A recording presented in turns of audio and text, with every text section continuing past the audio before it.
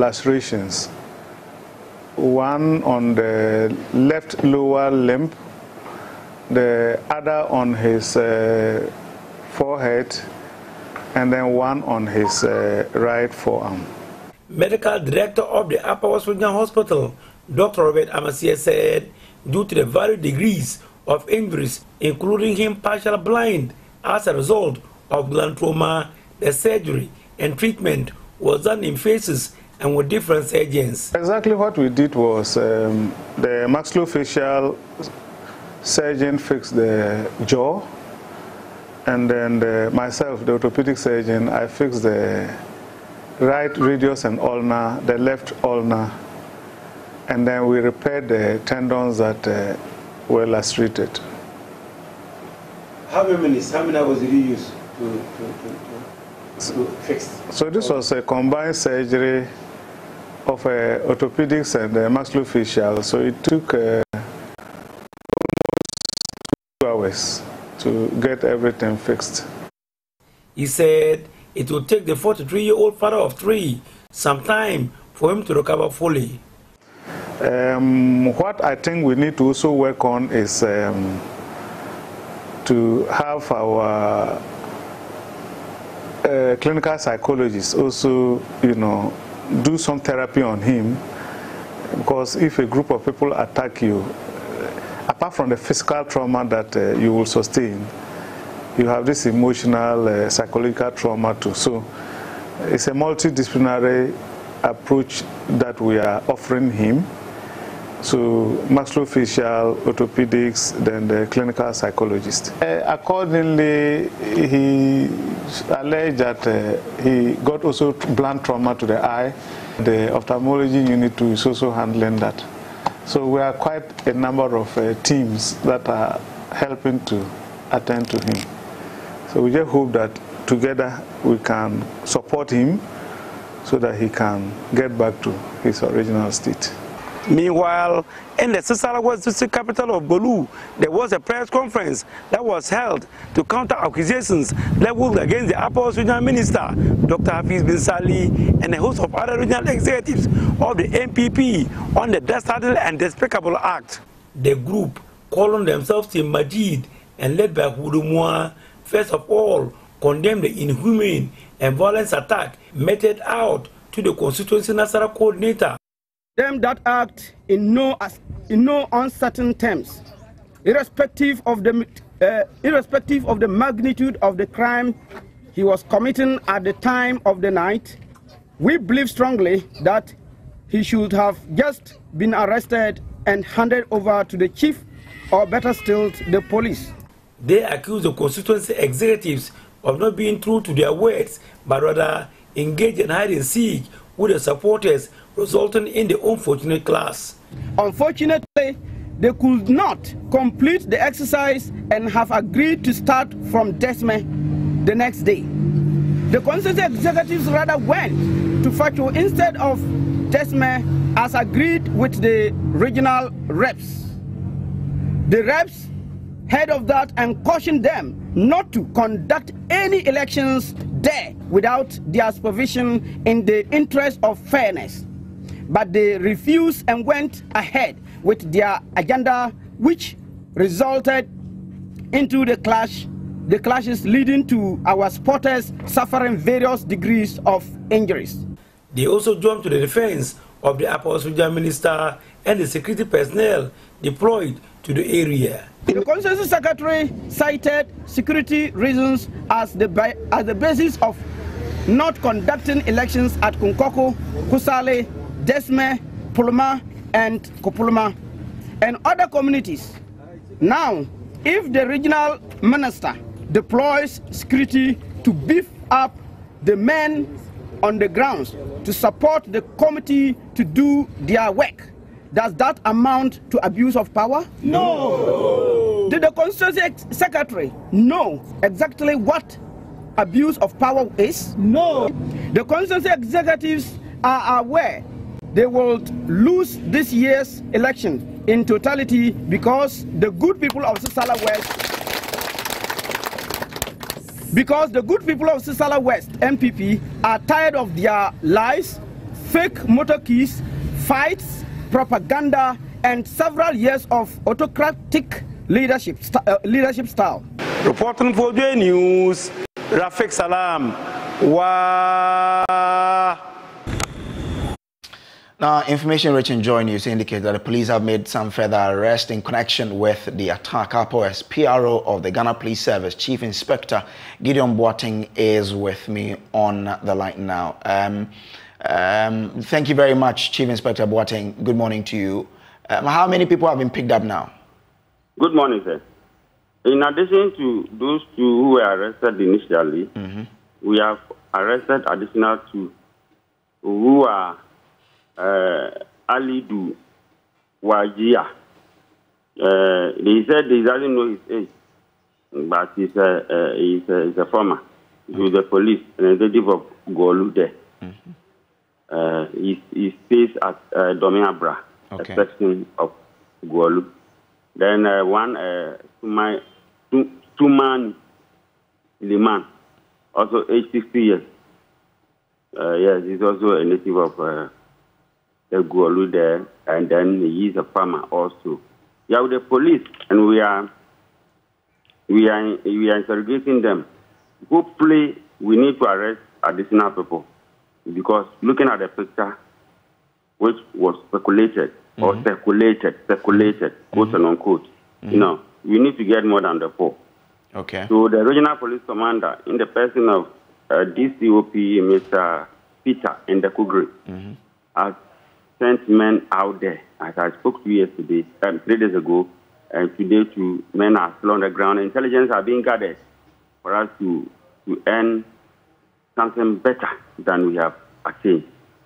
Um, we are assuring the public that they should exercise constraint or restraint because police will not sit down and look for certain things to happen this way. With regards to the with regards to the first suspect who were picked up, have they been put before court already? Yes, please. Uh, the two were, were sent to court yesterday. The court, the upper west, uh, uh, the the the Wa, the Wa Magistrate Court was where we put the people, and then uh, before, and then headed uh, uh presided over by his his worship Maxwell Maxibrain Titriku, and he reminded them to police custody to reappear on 4th of next month. So the uh, the, the victim, Waleka uh, Idrisu, now a 45 year old man, now responded to treatment, and we hope that he, gain more than he is mm-hmm. enjoying now. Uh, what charges uh, did the police prefer against the suspect? Uh, thanks so much. Uh, we we slapped them with a charge of attempt to commit crime to wit murder. So mm. that was the charge okay. that we slapped them with. And then uh, hopefully we will end, as I earlier on said, we will end uh, uh, something better out of the investigation that we have, we have so far led into. Okay. Uh, so, so how soon will the new suspect be put before court? Um, since you have gotten them, if worse becomes worse for us, that today we we are enjoying the weekend from right from today this evening uh, if possible, after taking their statements, and uh, maybe they may they may be needed to assist police further. Other than that, we need to send them to court. You see, for the court to either remind them or whatever decision the court will take. You see, mm. police, we have the 48 hours, but per the instances of the weekend, police need to proceed to court today. Hopefully the the first the, the party secretary and uh, the team that did the first press conference were blaming the regional minister for this. Has the police seen any need for the regional minister to be invited for some interrogation? Um, I would say that police we are investigating a case of causing a non-political affiliated issue. Uh, if if we deem it right that people come out there to, to tell us that uh, it affiliates to any political something or whatever, and the minister's hand is under the carpet to, to the perpetrators uh, being uh, uh, molesting people over there, I think we, we need to, because the law doesn't belong to him, neither myself. And therefore, we need to invite him. And that that one will occur when the people are very bold enough to come to the police to really we are investigating the case, and therefore we need we need uh, uh, the, the public uh, uh, assurance and, and then assistance. Okay. So we can't base on this. This is a hearsay to me. You know, it's a hearsay to me because I have heard that they said the minister is, is part of the district. Well, who has come to level the case? You know, police to based on at times based on hearsay we base and then invite some other people. But we want the people since they have been able to make a press conference, they have to come to police to assist the police to investigate the, the issue to the bottom. All right. Um, but for you. now, for now, we are investigating a case of causing harm. Okay, thank you very much, sir, for joining us here. Now, also joining us on the phone is a relation of the victim, Razak Bagaya, to tell us more about this incident and, and what's happening to the, the, the, brother there. Good morning to you very much, Bagaya. Thanks for your time. Now, is Musa still in the hospital? And what's his condition now? Uh, Musa is still in the hospital. Currently,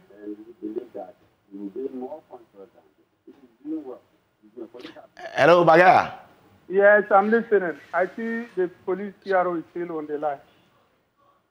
Currently, currently, Musa is, is responding to treatment. Okay. now, now, now, so we, we, are, we, are, we are told that uh, some new two people have been arrested. How does the family react to this latest arrest? Yes, it's a good news to us. We are welcoming the news, but we want justice. Just not a mere arresting. We want justice. That's all what we want. But currently, they have gone surgery on his both forearms yesterday. And that of his due that tomorrow, tomorrow or Monday, they will go another surgery for the jaw. Mm. So, um, and, have you had any interaction with the regional minister on this particular yes, development? Yes, currently we are the uh, regional minister, minister office. Currently, as I'm speaking, we went to meet the minister. For we, the family, we don't have problem with the minister because when the incident happened, he is the first person to call on us, and he has been supporting us with the money, and he's assuring us the bill is going to take care of all the bills. So I think this morning we meet him and we greet him for what he has been doing for us. But we are calling on him to do justice. We want justice. That's all we want. Because this thing is internal policy. We are not, we the family are not part. We are not accusing the minister of anything. What we want is justice. We are just calling upon him to help us get justice. Okay. Um, uh, but but, but I, am sure your brother has a wife and children. How are they also reacting to all of this development? Yes. Are, in fact, the wife, the wife is in the traumatic situation because currently is pregnant and is almost due for delivery. And imagine what will happen if your wife just hear this happened to uh, asthma. So currently we are all at the hospital together with the wife. So uh, we are praying and hoping our brother will get better. All right. Uh, thank you very much, Bagaya, uh, for your time. He is a brother to the national coordinator of the Upper West region who has been um, uh, beating and is responding to treatment in the hospital. Moving on to other stories. The Environmental Protection Agency, EPA, is conducting market surveillance in the Ashanti region to check the sale of DDT-infected watermelon. A survey by scientists at the KNUST reviewed watermelons on the market had high levels of the banned chemical. Children have been found to be at high risk of suffering adverse health effect if they consume the fruit regularly. Speaking to my colleague Benjamin Akakpo on the AM show this morning, Chief Executive Officer of the EPA, Henry Kwabena Kokofu, said the agency is uh, taking up the matter. Get to know the abuse and top abuse of uh, um, medicine, uh, whether herbal or um, orthodox. So, be any other uh, substances or products that we find ourselves in. DDT, as it, where the full name is dichloro diphenyl trichloroethane. It is a, a, a pesticide, and it is among a number of pesticides that has been banned in this country for long. The use of it, the importation of it has been banned. And it is in conjunction with the Stockholm Convention that sought to uh, internationally ban the use of all the physical uh, things, uh, uh, if, if, you, if you like. Now, the use of pesticides in general has been uh, uh, something that as a nation we need to look at it critically.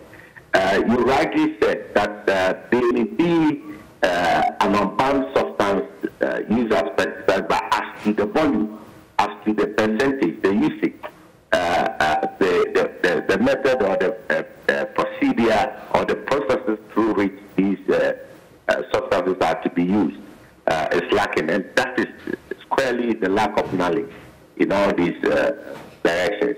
That's why we've been advocating for farm extension officers who uh, have requested knowledge in these things to be on the farms to educate farmers on the use of these uh, materials. But, but all of that, all, all of that, you see, I, I, was saying shortly before you joined the conversation that the buck must stop somewhere. We know it is banned. Why, why is it even accessible? Because once it's accessible, people will use it. And, and why isn't there the right education on these pesticides so that they will not even be used? Because from the discussion, the thread shows that a lot of these farmers don't even understand what they are doing. Some are even tasting the pesticide. That's how dangerous it is. Yes, um, the, the, it's banned. So officially, uh, we don't expect this importation in the system. However, you and I look the smuggling of uh, uh, most of these contraband into our, our, our, society or onto our land, and through the various illegal uh, routes of entry uh, at our borders, the closeness of our borders, we all are aware of. We've been doing uh, and taking uh, steps to do uh, sampling on the market to check some of these things. But it, it's, it's, unfortunate, and people are so recalcitrant and always want to do. We want to invite the uh. Uh, we want to know more and further so we can close in on exactly where the, the, the findings are or, or, what they found, so that we'll be able to by way of recommendation, also get down there. Now, this morning, agitations on the labor front is in focus uh, as organized labor is asking for a 19% increase in salaries with members of CLOGSA demanding payment of neutrality allowance. Government has already indicated that the economy is in challenging times, but the union say hikes in prices of goods and services means their salaries can no longer meet their needs. Meanwhile, the Secretary, of the, the Secretary General of the Trade Union Congress, Dr. Yaw Baah, has vowed workers will be uncompromising with the demand.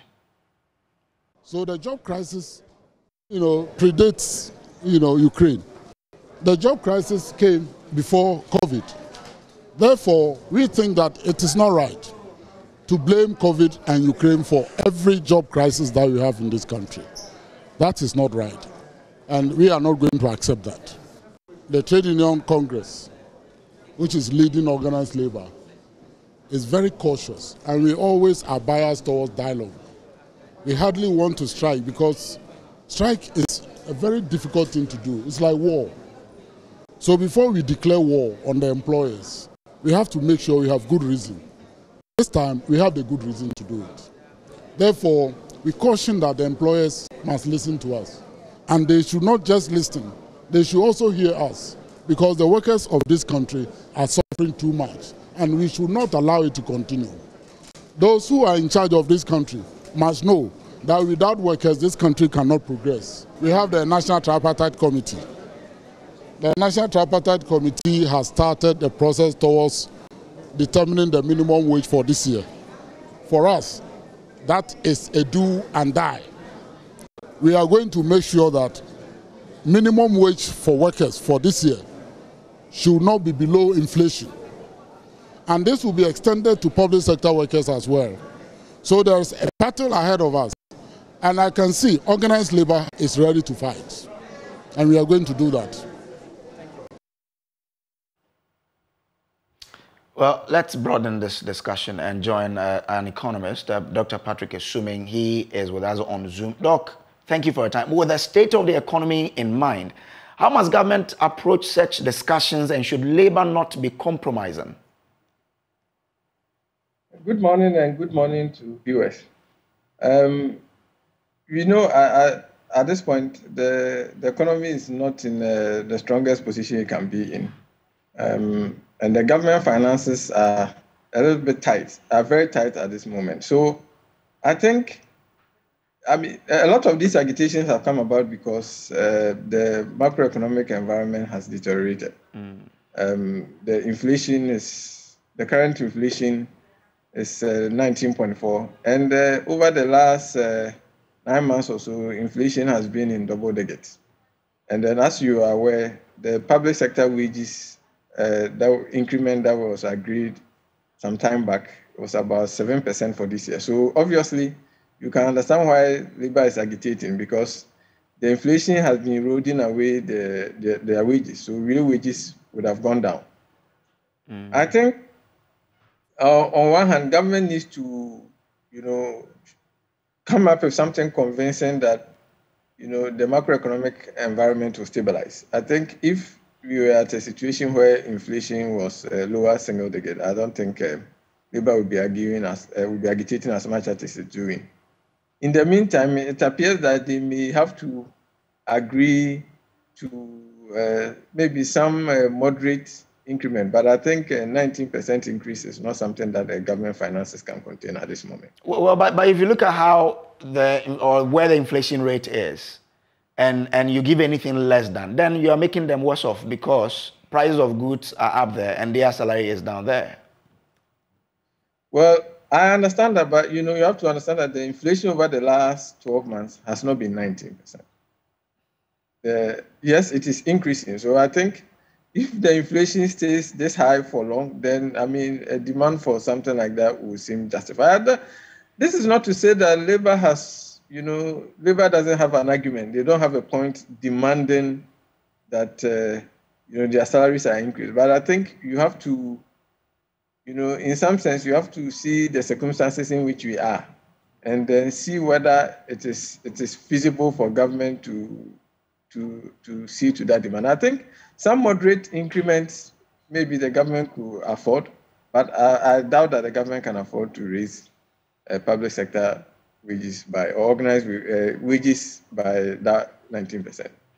In, in that case, what can government do to also ensure it is making life comfortable for, for, for, for labor? Because if inflation rate is this high and the labor's uh, salary is, is that low or the, the minimum wage is that low, it still does not make up for the labor. So how does government approach this to ensure that there is a win-win affair and, and not make labor worse off or to still say that government, even if you can't, we still need it? So I think um, maybe government needs to uh, negotiate and meet with labor and negotiate with, uh, in all sincerity, and uh, show a lot of candor, and then also appreciate that indeed um, the recent circumstances has not been uh, fair to organized labor. And not to just try and, uh, you know, first of all, once, once you hear these agitations, you obviously have to, uh, you know, approach them and uh, meet and uh, try and uh, at least let them know that you share their concerns. I think that that one will help. And organized labor seems that, I mean, they seem reluctant to accept that the challenges uh, are related to the recent issues in uh, Ukraine. I think there has to be some meeting and there has to be some negotiation. I think it will help if Labour was convinced that the recent uh, inflation numbers, or there's something to convince Labour that going forward, the conditions will improve, the overall economic circumstances in the country will improve. Because that's really what it is. If you recall that last year, the wage increase that was given to Labour is lower than we are having this year. Yeah. But mm-hmm. we didn't see this much agitation. So it clearly tells you that the fact that the economic conditions have worsened is the main thing that is driving this agitation. So if you know the organized labor was convinced that things are going to improve going forward, and uh, maybe government meet them some part of the way, maybe it, it, it, they might find that acceptable. But if they are not convinced and they believe that conditions are going to keep getting worse, then I'm sure they'll be reluctant to, to accept. But clearly, if you look at the, the state that we are in, I don't think that government finances can support that much mm. wage increase. Which means that labor should be compromising, right? Absolutely. All right. Thank you very much, Doc, for your time here. Now, uh, moving on to other stories here on News Desk. The Education Minister is asking grade A schools to learn to accept students with low grades and mold them into good students capable of passing their West African Secondary School Certificate Examination, WASSCE. According to the Minister, Dr. Yaw-Osei Adutwum, that's the best way to assess how best these schools really are. Speaking at the launch of the University of Cape Coast at 60 celebrations in Cape Coast, the minister said always receiving the best basic education certificate examination student and making score good WASSCE grade does not make them the best schools. But he stated that, that receiving students with low grade and guiding them to pass their WASSCE will make the schools stand out. Richard Kodjonyako was there and has more in this report. The Education Minister, Dr. Osei Yaw-Adutwum, indicated that the mark of every good teacher, every good school is to get students with low grades and turn them into outstanding students. He challenged the grade A schools in the country like Wesley Girls, Presec, Holy Child and the likes not to be worried when students with low grades are placed in their schools, but be happy that with their resources, pedigree and experience, such students will be guided and molded into excellent students that are capable of passing their final exams. Their families were Nobody has ever gone to senior high school. And if we don't go there and we continue to look at ourselves and begin to complain, why are we bringing all these children here? There are places where teachers are complaining that students with aggregate 20 are being accepted. I had a wonderful conversation with some man who is very high up called me one day and said, Why are you sending students with aggregate 22 to Presec? And I said, Sir, I, I think Presec has one of the best group of teachers in this country. He said, Yes, it's true, Presec. Yeah, that's my school. And he said, Yeah, they are examiners and they are very good. And I said, Yeah, sir, I know. They are examiners and they are very good. So they are the ones who are prepared to teach those who have aggregate 25.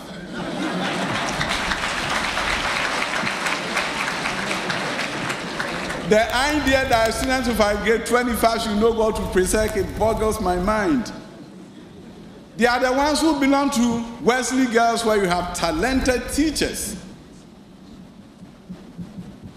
So if Wesley Girls want to prove to me that they are the best school and they are the best school, they need to take in students if I get 20.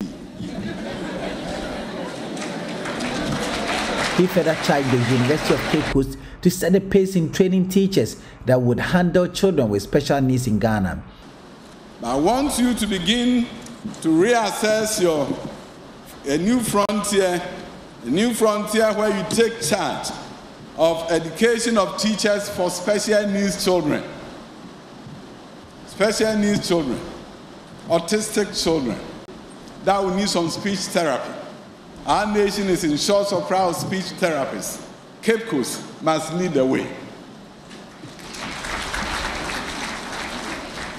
You must lead the way in the training of education psychologists, those who can support our teachers in the education of our children. You must lead the way in STEM education science, technology, engineering, and mathematics. And I love it. Uh, that's why I'm sponsoring about 97 of our STEM professionals. Um, I believe that we can do better as a nation by increasing the percentage of our students who are in these fields.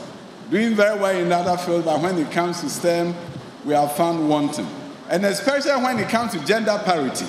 At the Kwame Nkrumah University of Technology, Science and Technology, leaders of engineering, only 15% of the engineering students are women. And it's not good enough we can do better. Dr. Osei Adutwum explained that government would never compromise on quality in its bid to open access to senior high school education. Vice Chancellor of the University of Cape Coast, Professor Johnson Yakobo Ampon, indicated that currently the university's collective image as an institution is high, and across the sub-region and across the globe, the university's reputation is very high and ought to be protected. As the Vice Chancellor of this great institution, I see this as the beginning of greater things yet to come. It is therefore important that we work harder to overcome our challenges so that we can maintain our enviable position as a top ranked university in Ghana, West Africa, and global leader in terms of our research influence. He stated that globally, the university is not only being recognized for its academic excellence, but as a pace setter in higher education as well. The 60th anniversary cake of the university was cut to begin the activities earmarked for the celebration. Reporting for Joy News, Richard Kwadwo Nyarko, Cape Coast. You're also watching News Desk here on Joy News. We'll take a quick break. We will return with more news.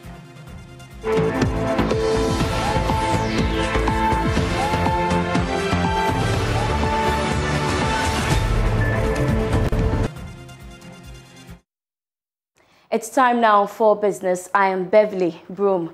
The Ghana Revenue Authority says its systems are all set to begin tax deductions from electronic transactions starting May, despite a legal suit by the minority of parliament challenging the validity of the passage of the levy and an injunction on its implementation. The authority insists implementation takes effect next month. Here is Commissioner General of the Ghana Revenue Authority, Reverend Dr. Ammishaddai Owusu-Amoah. Uh, currently, uh, I would say that um, if if I, if I'm saved mm. and um, when an injunction is I mean, put on us, um, we will comply with what the injunction says. But as of now, I cannot say that um, we are have stopped in terms of our tracks to.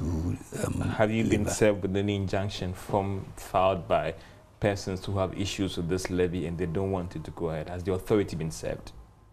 I have not been served as at this moment. As a commissioner, you've not been served. So therefore, the, everything is going ahead. Yes. What are your legal advisors telling you on this? Go ahead, or you could be cited with contempt.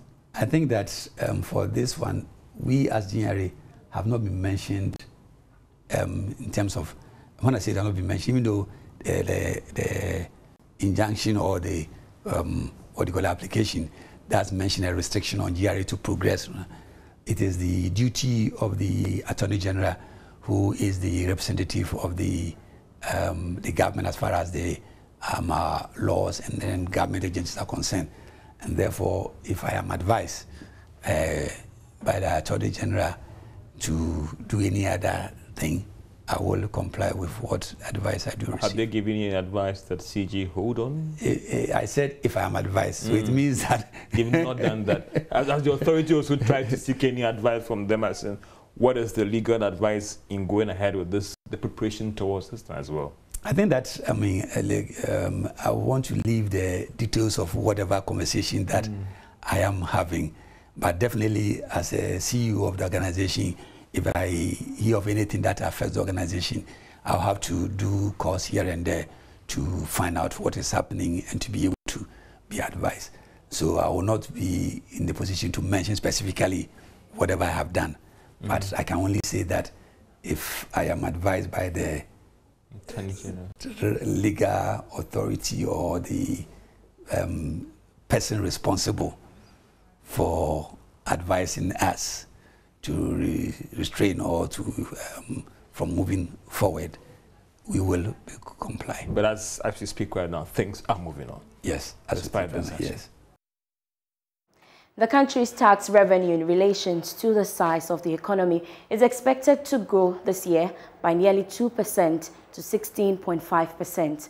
That's according to the International Monetary Fund's latest fiscal monitor report. However, despite the drastic cut in government expenditure for this year, spending in relation to the total value of the economy will fall marginally. Charles Nixon Yeboah has been going through the data. The International Monetary Fund April 2022 fiscal monitor is actually forecasting that Ghana's tax to GDP ratio will nearly increase by 2% to 16.5%, and that comes as a good news for the country. This means that the various revenue measures by the finance ministry is going to yield positive results. On the other hand, going forward into the future, we expect the managers of the economy to do more to be able to increase the tax to GDP ratio to the African average of about 20%. We also expect them to reduce spending. And if they are able to do that, we'll be good to go in terms of helping to trim our debt to our debt because the rising debt is a concern for the country. If the debt keeps rising, it will be very difficult for us to have fiscal space in order to invest in very critical projects that will yield uh, results, i.e., job creation and infrastructure development. So, on a whole, this is what the International Monetary Fund is saying with regard to the assessment by its fiscal monitor. And um, the good news is that Ghana's tax to GDP ratio would somehow expand to some extent, but uh, the tax to the expenditure to tax ratio is what is of a concern, and that will not fall as expected and will keep the fiscal deficit to GDP ratio at 9.8%. That's all for business. For more business news, kindly log on to myjoyonline.com forward slash business. Up next is sports.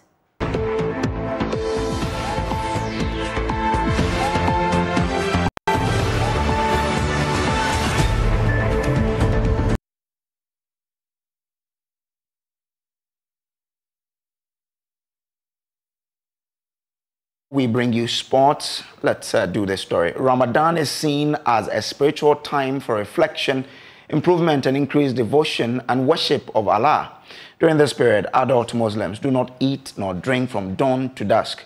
Even though children of the Muslim faith are expected to begin fasting once they have reached puberty, usually by the age of 14, many are encouraged to do so even before they attain this age. In a following report, my colleague Anas Sabit has been interacting with some children below the fasting age on how they first embarked on this important religious journey. Muslim children typically aren't expected to fast during Ramadan until they reach puberty. But most often, kids will want to start earlier because they see everyone else abstaining from food and water from sunrise to sunset, followed by their community gathering to break their fast together and they want to participate. Today, I set off to engage some of these kids on how they began observing the dawn to dusk religious obligation. 14 year old Fatih Idris was 9 when she first attempted to fast. When I started fasting, we were staying in Accra when we went to school, I saw my friends fasting. So when I came home, I told I told my mom that I also wanted to fast. So in the morning, I when I finished eating, I did my chores. Exactly eight, then my stomach started growling. Then I went to the kitchen and saw some jollof. But I I controlled myself. But when it was 12, I couldn't control myself anymore and I drank water. Unlike Fatih Idris, who started at age 9, Abdulaziz Issa's first fasting experience was at age 13. I myself wanted to fast because it was good. Uh, all my friends were doing it, and I was told that when you do, you receive blessing from Allah. Like most of the kids I spoke with, nine-year-old Shurem is fasting for the first time this year. He attempted to do so a year ago, but failed to make it to sunset. I was hungry. I, I, I was crying for help, and when I was in the room, I went to tell my my stepmother that I'm hungry. Said I should wait until the time will go to 12. I waited and it came to 12, and, and I break the fast. Kids can start by fasting for a few hours, by fasting from dawn to midday, by skipping lunch, or by fasting only on weekends. Hajia Hajara Kipo is a mother of four. She shares with me how she nurtures her children into fasting. For children and fasting, in fact, it is something interesting because I started with my children at the age of five. And at the age of five, the child will not fast fully, but the child will fast from morning to 12 o'clock as at that age. Then I'll ask the child to break the fast. And when you are doing this, you don't let you don't have to let the child go to school. You have to let the child do it at the weekends. So normally they do it at the fast at weekends. So when the child is at, is at home, you can monitor the child, the way the child is feeling. When you see the child being weak or lying down, he can't do anything, then maybe you have to let the child break the fast. Hajara is, however, surprised at how her case took to fasting pretty easily and didn't appear to be overly exhausted, adding that Muslim children are not forced but trained gradually to do so. It's not force. We don't force the children, but we rather give them training. It's a training. Like I said, the children themselves, it will get to some time, Kura. When you ask them to fast today, tomorrow, don't fast, you have to rest. The child will say, No, mommy, I want to fast. Or daddy, allow me to fast. Me, I can fast. I can fast today, even time. Allow me to fast. So it's not force. We don't force them. We train them. And when you train your child well, the child would like to fast with you. To these children I've been engaging, what else do they know about Ramadan aside from abstaining from food and water? I was nine when I started fasting, and nobody forced me to fast. I, I saw that everyone was fasting and nothing happened to them. And I also wanted to fast so that I can get blessings from Allah. You pray the five daily prayers and you recite the Quran and help the needy people. Though Muslims are only mandated to fast at puberty, getting children encouraged to fast early remains of significant importance to most Muslim homes. Reporting for Joy News, Anas Sabit, Techiman. So welcome back from that story. Now uh, joining me in studio is a Muslim brother Muftau with sports. Muftau, good morning. Good morning. How are you? I'm good. When did you? At what age did you start fasting? Like 13, 14. I I had actually grown because you grew up. You're always with people who are always fast, fasting when you are eating, they were laughing at you. So, so you, you, actually also had to fast. So yeah, okay. that was when I started fasting. It wasn't under compulsion. No, it was. but just that you felt people were mocking yeah, you. Yeah, it's not just the the mocking alone, but okay. it was always weird. Mm. You know, you are you are in the house, and usually during the fasting, if you're someone who who is very often, there will not be food for you to eat. so, so just also fast and follow food. Oh wow! Yeah, yeah because in the house, early morning when we wake up in the dawn, you've all eaten, mm. uh, they'll clear the bowls. There are mm. empty bowls standing there. Unless, of course, you have so many children around the house that there will okay. be food. But if you don't have so many children around the house, trust me, you, you will go hungry. But, but how's it going? Oh, it's been pretty cool, uh, but at this point, uh, it's not very normal. it's very long. I, okay. Was it just a couple of, um, mm. was it two days ago? Mm-hmm. And um, Benjamin Akakpo was like, are you, are you sure you're fasting? Why? Because you're looking too fresh or yeah, something? Like, ah, okay. You don't spiritual, spiritual wonders anyway. Yeah, yeah. Well, yeah. so what's up in sports? I hear RTU is going through some financial yes, difficulties. Yes. But how come that is happening? Because I know the vice president yes I was told the uh, minority leader, yeah. all of these MPs from the northern, yeah, were helping. So how come? Oh, well, they're at a point that um, there's so much politics happening within the team. Oh. Uh, where many people feel that um, their contribution to, into the team is not being appreciated. For instance, we were made to understand that the former NPA boss, uh, Hassan Tampuli, had donated about 50,000 Ghana cedis to the club so that they were used to pay the, the salaries of players. But all these things were not captured. They, they go about talking about other people who contribute without talking about the others who also contribute. Oh, okay. And there's one interesting thing about RTU. The support base of the team is such that whoever is throwing money into the team Mm. gets their support. So, for instance, if you have someone like the minority leader supporting the team, Mm-hmm. there's a likelihood that a chunk of the support, he Mm. gave them 100,000 Ghana cedis, and then Hassan Tampuli also gave them 50,000 Ghana cedis. So But, but so once this story about their financial state went out there, who has moved in to say I want to help? no one has actually come in yet. Um, they're still talking to people. Um, he actually revealed that the chief executive officer actually decided to use his land as collateral for their last Premier League game. So, collateral for what? Was he looking for for to yeah, borrow, he had, to no, yes, to borrow money. He had to use his land so they can have that last game. so that they can use the money to play that game. Now they're at a point they need to travel to Elmina to come up against Elmina Sharks. Wow. So they have to find a different way. We are meant to understand that someone is trying to speak to the vice president on their behalf Mm. so that he could come to their aid. We, we, we await um, the outcome of that meeting. but Well, we what about? It looks like we are saying, but but there's a serious matter, a serious matter there. What about former players like Abedi Ayew Pele, who have become so successful? Ab- Ab- I bet that you, Pele, is not that figure who is always out within the public domain. Okay. Uh, so I cannot tell whether if they have spoken to him or not. Okay. Maybe if they come to speak to him, his, maybe his children will even help. All right. Um, moving away from the RT issue and to say foreign land. Yes. What I mean, yesterday we had I, I don't want to up my anticipation. Um, Are you a United fan? I am. I mean, full-blooded one. Apart so from, you, ce- you, apart you from my- celebrate history, isn't it? I do. So, but he, the past glory of Man United is what is keeping you close to the without team. History, I'm not where asking would the we be? questions. No, without history, where will we be? History is there to guide us on how what we do for tomorrow. So yes, history is important, and everybody knows that the most successful club from England and, and Britain is us, Manchester. and I mean, no doubt about it. There's, there's no. No, so I shouldn't tag you. No, no, no. You But, but, but I can choose to say Liverpool.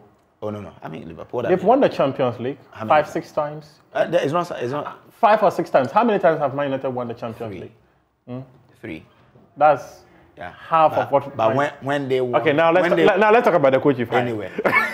Anyway, we are told Ten Hag has been uh, recruited. Yeah, yeah, yeah. The, the club has actually confirmed him. They've I am, I am, I'm only managing my expectation really because of what has happened in the past. Okay. But what does he bring on board?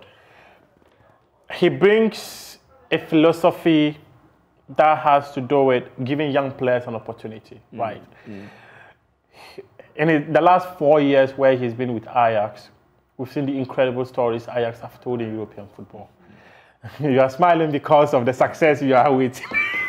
anyway, whether it will translate to Manchester United is a different. Oh, there's, a- there's that possibility. I think that the bigger problem of Manchester United is the board and the management.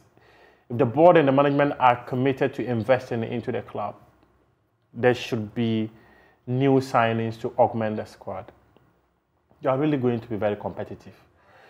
In the last couple of years, Man United have not been competitive because their choice of signings have been horrendous. Look at what Liverpool have done. They can take a cue from that. And that's why we've sacked the uh, head of the, the, the scouting team. They should go let's build our team. And that's how we wrap up this edition of uh, the News Desk. My name is Samuel Kojo Brace. Uh, Muftao came up with that's us there. Do enjoy the rest of your morning, but do log on to uh, myjoyonline.com for the news.